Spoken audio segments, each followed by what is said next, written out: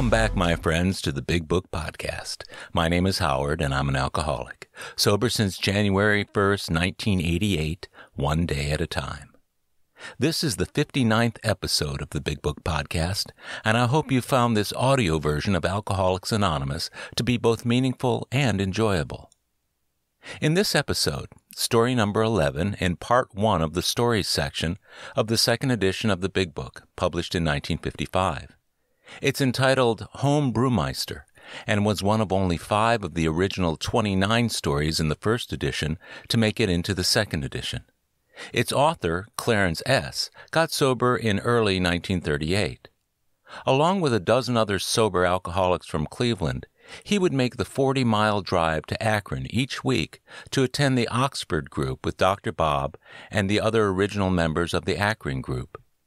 At that time, a majority of the Cleveland contingent were Catholic. According to Clarence S., when the Roman Catholic Church learned that these men were attending the Protestant based Oxford group, it threatened excommunication if they continued to attend. Clarence informed Dr. Bob and the members of the yet to be named Akron group that Catholics in the Cleveland group would have to stop coming, which might result in their drinking. The initial reluctance of the Akron group to sever ties with the Oxford group created a rift between the Cleveland and Akron groups. As a result of that rift, Clarence and several others put together their own group in Cleveland in May 1939. They named the group Alcoholics Anonymous, after the title of the newly written Big Book, and modeled it upon the 12 steps therein. Some AA historians consider this to be the very first AA group not affiliated with the Oxford group. Along with the Big Book, it soon became the model for groups everywhere. Eventually, the Akron group also split from the Oxford group to focus solely on AA and become an organization that is truly not allied with any sect, denomination, politics, organization, or institution. Though it may not be referenced in his story, Clarence's personal influence on the AA pillars of inclusiveness and universality have certainly earned him a place among the great early AA pioneers. And now, Part 1, Story 11 Home Brewmeister. An originator of Cleveland's Group Number 3, this one fought prohibition in vain. Strangely enough, I became acquainted with the hilarious life just at the time in my own life when I was beginning really to settle down to a common sense, sane domesticity. My wife became pregnant, and the doctor recommended the use of port or ale. So I bought a six gallon crock and a few bottles, listened to advice from amateur brewmeisters, and was off on my beer manufacturing career on a small scale for the time being. Somehow or other, I must have misunderstood the doctor's instructions, for I not only made the beer for my wife, I also drank it for her. As time went on, I found that it was customary to open a few bottles whenever visitors dropped in. That being the case, it didn't take me long to figure out that my meager manufacturing facilities were entirely inadequate to the manufacture of beer for social and domestic consumption. From that point on, I secured crocks of 10 gallon capacity and really took quite an active interest in the manufacture of home brew. We were having card parties with Limburger and beer quite regularly. Eventually, of course, what with all the hilarity that could be provoked with a few gallons of beer, there seemed to be no need of bridge or poker playing for entertainment. The parties waxed more liquid and hilarious as time went on, and eventually I discovered that a little shot of liquor now and then between beers had the tendency to put me in a wacky mood much quicker than having to down several quarts of beer to obtain the same effect. The inevitable result of this discovery was that I soon learned that beer made a very good chaser for whiskey. That discovery so intrigued me that I stayed on that diet almost entirely for the balance of my extensive drinking life. The last day of my drinking career, I drank 22 of them between 10 and 12 a.m., and I shall never know how many more followed them until I was poured into bed that night. I got along fairly well with my party drinking for quite some time, but eventually I began to visit beer joints in between parties a night or so a week in a joint, and a party or so a week at home or with friends along with a little lone drinking, soon had me preparing for the existence of a top flight drunkard. Three years after I started on my drinking career, I lost my first job. At that time, I was living out of town, so I moved back to the hometown and made a connection in a responsible position with one of the larger companies in the finance business. Up to this point, I had spent six years in the business and had enjoyed the reputation of being very successful. My new duties were extremely confining, and my liquor consumption began to increase. Upon leaving the office in the evening, my first stop would be a saloon about a block away. However, as there happened to be several saloons within that distance, I didn't find it necessary to patronize the same place each evening. It doesn't pay to be seen in the same place at the same hour every day. The general procedure was to take four or five shots in the first place I stopped at. This would get me feeling fit, and then I would start for home and fireside 13 miles away. On the way home, numerous places must be passed. If I were alone, I would stop at four or five of them but only one or two in the event I had my mistrusting wife with me. Eventually, I would arrive home for a late supper for which, of course, I had absolutely no relish. I would make a feeble attempt at eating supper, but I never met with any howling success. I never enjoyed any meal, but I ate my lunch at noon for two reasons. First, to help me get out of the fog of the night before, and, second, to furnish some measure of nourishment. Eventually, the noon meal was also dispensed with. I cannot remember just when I became the victim of insomnia, but I do know that the last year and a half I never went to bed sober a single night. I couldn't sleep. I had a mortal fear of going to bed and tossing all night. Evenings at home were an ordeal.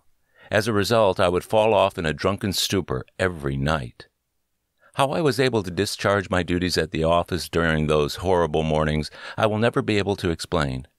Handling customers, dealers, insurance people, dictation, telephoning, directing new employees, answering to superiors, and all the rest of it. However, it finally caught up with me, and when it did, I was a mental, physical, and nervous wreck. I arrived at the stage where I couldn't quite make it to the office some mornings. Then I would send an excuse of illness, but the firm became violently ill with my drunkenness, and their course of treatment was to remove their ulcer, in the form of me, from the payroll, amid much fanfare and very personal and slighting remarks and insinuations. During this time, I had been threatened, beaten, kissed, praised, and damned alternately by relatives, family, friends, and strangers, but of course it all went for naught. How many times I swore off in the morning and got drunk before sunset, I don't know. I was on the toboggan and really making time. After being fired, I lined up with a new finance company that was just starting in business and took the position of business promotion man, contacting automobile dealers. While working in an office, there was some semblance of restraint, but oh boy, when I got on the outside with this new company without supervision, did I go to town. I really worked for several weeks, and having had a fairly wide acquaintance with the dealer trade, it was not difficult for me to line up enough of them to give me a very substantial volume of business with a minimum of effort. Now I was getting drunk all the time. It wasn't necessary to report to the office in person every day, and when I did go in, it was just to make an appearance and bounce right out again. Finally, this company also became involved, and I was once more looking for a job. Then I learned something else. I learned that a person just can't find a job hanging in a dive or barroom all day and all night, as jobs don't seem to turn up in those places. I became convinced of that because I spent most of my time there and nary a job turned up. By this time, my chances of getting lined up in my chosen business were shot. Everyone had my number and wouldn't hire me at any price. I have omitted details of transgressions that I made when drunk for several reasons. One is that I don't remember too many of them, as I was one of those drunks who could be on his feet and attend a meeting or a party, engage in a conversation with people, and do things that any nearly normal person would do, and the next day not remember a thing about where I was, what I did, whom I saw, or how I got home. That condition was a distinct handicap to me in trying to vindicate myself with the not so patient wife. Things eventually came to the point where I had no friends. I didn't care to go visiting unless the parties we might visit had plenty of liquor on hand and I could get drunk. Indeed, I was always well on my way before I would undertake to go visiting at all. After holding good positions, making better than an average income for over 10 years, I was in debt, had no clothes to speak of, no money, no friends, and no one any longer tolerating me but my wife. My son had absolutely no use for me.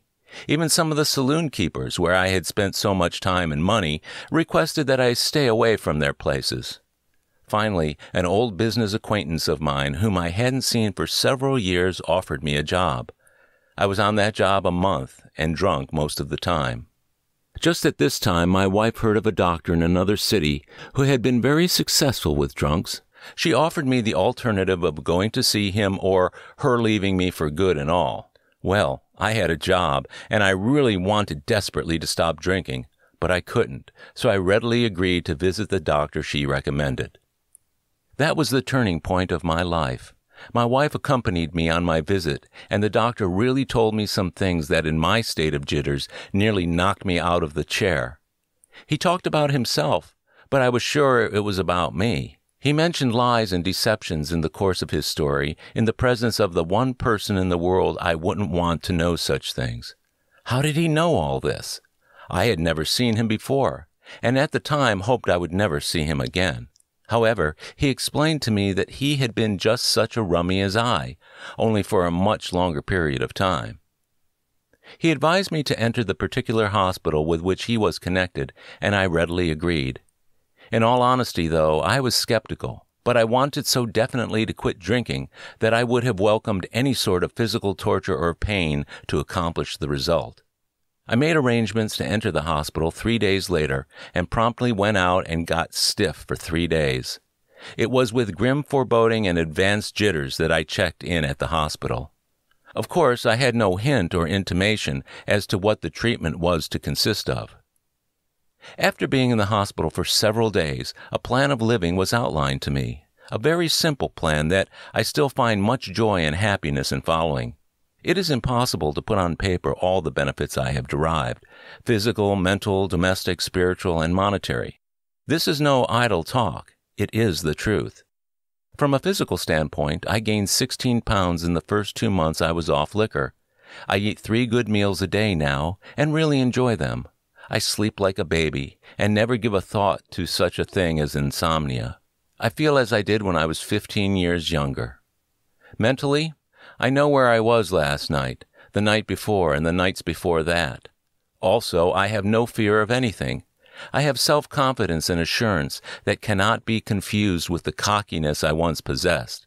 I can think clearly, and am helped much in my thinking and judgment by my spiritual development, which grows daily.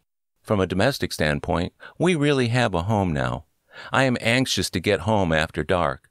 My wife is glad to see me come in. My youngster has adopted me. Our home is always full of friends and visitors. No home brew as an inducement. Spiritually, I found a friend who never lets me down and is ever eager to help. I can actually take my problems to him, and he gives me comfort, peace, and happiness. From a monetary standpoint, in the past few years, I have reduced my reckless debts to almost nothing, and have had money to get along on comfortably. I still have my job, and just prior to the writing of this narrative, I received an advancement. For all of these blessings, I thank him. This concludes the reading of Home Brewmeister from part one of the personal stories section of the second edition of Alcoholics Anonymous. I'm grateful you listened.